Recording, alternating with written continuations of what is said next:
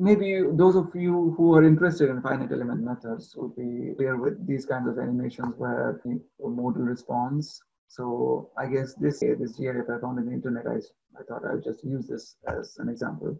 The second mode of the uh, beam, there'd be nodal points on this beam. So where there is minimum amplitude.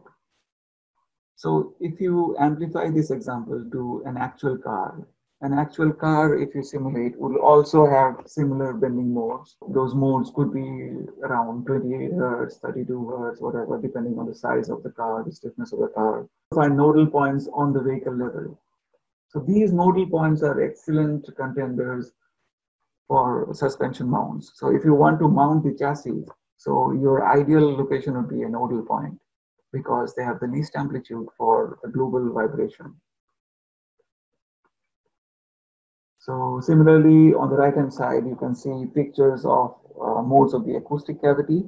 So the volume inside the cabin is also important. The shape of the cabin inside also is the shape and the size of the cabin inside also determines the frequencies at which uh, it uh, resonates. For example, a station wagon would have as low as 40 hertz so if you have a door mode at 40 hertz as well, uh, you'd see resonance issues, you'd see booming noise inside the cabin. Moving on, so how do we solve uh, these problems and how do we optimize the solutions? Uh, so to give you a very brief introduction here, as we're, there are many methods to reduce uh, noise and vibration. If you're building a house, you're not so bothered about weight or mass or the cost is also is not a big factor if you want to if you want to have a good image quality in your house. But if you're making a car, you need to be very sensitive to mass and cost. So how do you achieve very good noise and vibration quality with minimum mass and cost? That is our objective. So we focus on having the best structure early on in the design loop. So what we do is modal mismatch or also known as impedance mismatch, where we try to have some separation in the frequencies or the mode shapes so that they don't interfere with each other or they don't resonate with each other. So if we go back uh, to this chart, so we can have, we usually have similar charts where we calculate the different frequencies, the different sources, the different paths, the different frequencies, uh, the different acoustic modes and see if there is any clash. So those clashes usually point us to some future issues in the vehicle. So uh, these are different things we look for uh, during the NVH development uh, process. We are looking for an optimum mode allocation, resonance targets, input point impedances should be higher. So for that, we use rubber bushes uh, so that the transmissibility of forces are low. We need better panel performance. If you have uh, flat panels, flat large panels, that would boom at very low frequencies. But if you have very stiff panels, then also very stiff and light panels would radiate a lot of noise at higher frequencies. So there are a lot of things we need to intelligently design in order to have good NVH quality. So moving on, for example, for a car, on your left hand side, you have the cabin first cavity at 4 43 hertz. So if I ask you a question, how do you change the cavity mode? The answer is you cannot change the cavity mode. The cavity mode is a function of the volume of the cabin, of the air cavity, and the properties of air. So I'm sure that we are not going to change the properties of air inside the cabin as a design change. So what we can only do is work on the other resonances rather than the cavity resonances. So the cavity resonances at the start of the design loop, if we have information about, we can easily say that, okay, we need to avoid these resonances. Say we need to avoid 40 hertz, 80 hertz, 120 hertz.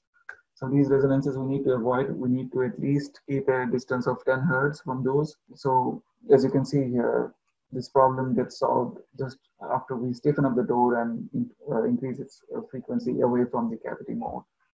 Moving on, uh, this was one very interesting slide that I made. uh, where I describe the different methods we use according to the frequency. So different modeling methods we use, the different simulation numerical methods we use at different frequencies. So it starts with static analysis where we are only looking into the stiffness of the component without any mass effect. So let's put it at zero hertz. So at low frequency, it's a MBD, so up to about 20 hertz or sometimes a little higher. So we are concerned about the kinematics of the system. So we do MBD there. Now we have FEA at the very important crucial zone of 20 to 200 hertz where dictate the structure of the vehicle. So this we get the resonant responses of the structure and with many simulation techniques we're able to understand what we need to do to have a great design of the vehicle. At mid frequency zones, 200 hertz and higher, up to about 1 kilohertz, we have something called FEA SEA hybrid. Uh, it is a hybrid method in between it, the, determin, uh, the deterministic uh, FEA method and the statistical methods we have. So we, uh, briefly about these statistical methods, we have, uh, it's basically we transform the problem into a heat flow problem a thermal problem. So you'd ask me, how can a sound problem become a heat problem? So this is an intelligent technique we use to simplify and to enable us to simulate basically, because as we go to higher frequencies, there's something called modal density. The number of modes for any frequency band, say between 500 to 502 hertz. Between 2 hertz band, there will be a lot of frequencies that you need to account for. And due to this increasing modal density as we increase in frequency, and also because of tolerances in the vehicle. So if you test the same vehicle from the same line, say 60 different vehicles, if you test from the same line, you'd see different uh, measurements for the high frequency accelerations or whatever you measure. So what does it mean? It means that even the small tolerances, small gaps in finishes, some small deviations in the structure leads to different responses at high frequencies. So we need a different approach to solve those problems. So that is given by the statistical energy analysis method, which is basically the, the sound transmission problem as a heat flow problem. More into that maybe later. Yeah. So as you can see, with increasing wavelengths, deterministic methods are good, are excellent. So we just need to understand the resonances and how they couple together, and we just need to isolate those resonances.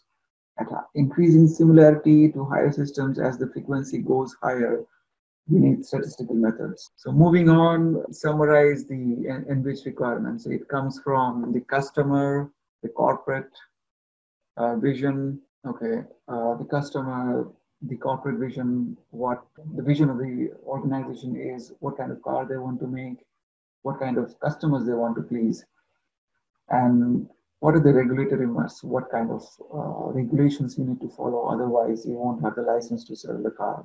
So these dictate the NVH requirements, and uh, this table on the right is just to summarize the normal approach to solve NVH requirements, uh, NVH issues.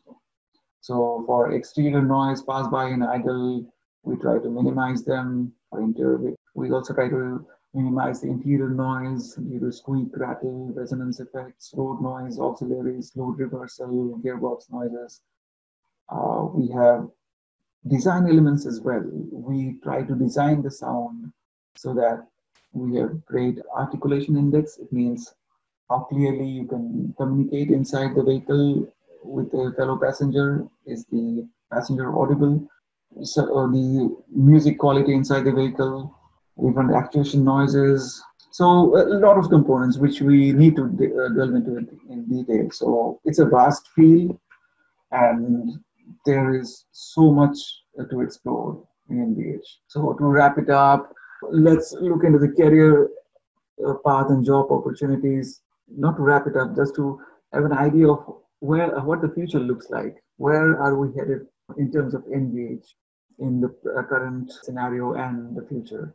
So as you can see, there's an increasing trend that we we're moving away from fossil fuels, from IC combustion, or internal combustion engines, and we are electrifying our um, automotive industry. So that means that we no longer have the engine, which used to make a lot of noise in the low frequency and the high frequency as well. So there was a lot of masking that was available. So many small sounds was squeaks, rattles, small fan issues, they were not audible to the customer before. But now, because there is no engine, you have a very silent electric motor. The motor is not actually silent, it has a radiation at higher frequencies, uh, which is tonal noise. We can come to that. So, we no longer have the masking, so it becomes really important to give more importance to uh, we have even tighter mass budgets because we're concerned about the range of electric vehicles. So we can't just put mass any way we please. Uh, we need to be very careful about the mass of the vehicle, about the mass targets. And there is also this trend for stiffer, lighter structures, carbon fibers, organic structures. Many things are coming up in the automotive industry. It's really an exciting time to be in the automotive industry. So these lighter and stiffer structures in turn mean that there'll be more uh, possibility of noise radiation. And with tighter mass budgets, it becomes increasingly difficult to meet NVH targets. So the more the challenge, the more the reward as well. So the more importance the industry gives to NVH. We have motor and battery NVH, which is an evolving branch, quite exciting as well. We are also giving more importance now to high frequency simulation with SEA and hybrid FE SEA. Even though we don't have engine noise, right? We won't have engine noise in the future. We'd have motor noise, but road noise and aerodynamic noise would still be there, and it would still be a concern for the automakers. With automation, we would see people traveling on autopilot so they'll be engaging in other activities in leisure, in uh, recreation, where psychoacoustics or the psychological aspect of sound becomes more important. Passenger comfort becomes the uh, takes the center stage. What do we need for to start a great career in NVH? So those of you who are deeply interested in physics, they have an edge so if you're interested in vibration phenomena, mechanics, etc., then NVH is for you.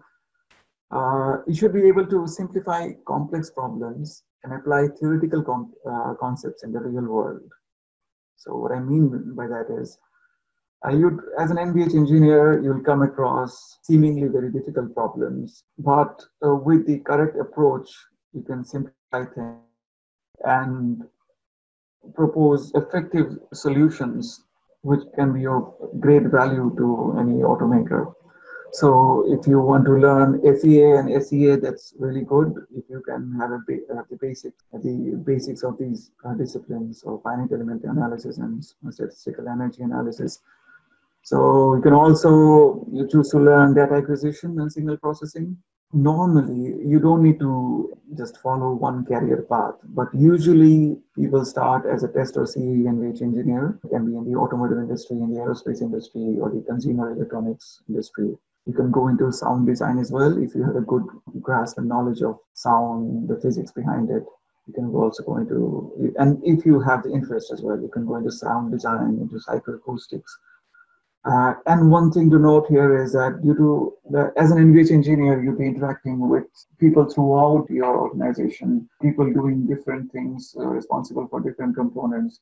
So over a period of years or decades, you will gain a lot of insight to multiple disciplines, and this would help you to take up leadership roles later in your career as well. So about the future trends, you search through the internet uh, you'd find that in the future we'll also be doing high frequency simulation, as I already mentioned. Also, multi-physics simulation. I remember there is one vendor called COMSOL that already does it, where you combine flow acoustics or coupled electromagnetic simulation with structural simulation. Ideally, every problem that you face is a multi-physics problem. We try to make our assumptions and try to create, uh, conceive a structural problem, acoustic problem, a CFD problem, and so on. But ideally, if we are able to do a multi-physics simulation, then it would be, I mean, the next best thing to do. So we also have big data and machine learning in predicting performance. I know about this collaboration between universities and the OEMs where we're trying to predict performance with feeding CA data or historic CA data and trying to predict performance of a new design. So we also have many things happening in mobile app development where there will be mobile apps that will be listening to your car and telling you much uh, before a problem happens, alerting you of the problem. Another interesting field is the active noise cancellation system. So we also have involvement of AI to have better active noise cancellation. So these are really interesting fields. There if you look up the internet, you'll also find uh, non-traditional materials uh, that are, that can be used to create uh, car bodies. So Daimler has one concept where they grow biologically, grow the car body biologically by biological processes. So eliminating the need for conventional factory. So these are just to give you present to your menu some of the interesting things that are happening and uh, just as a dose of inspiration.